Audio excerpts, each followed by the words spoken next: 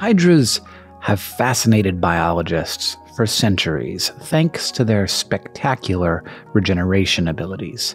They can withstand all manner of violence. Scientists have even blended hydras down to their cellular components, spun them in a centrifuge so they pack together, and watched as the cells sort themselves back into Hydra which is why Hydra are sometimes called the eternal embryo.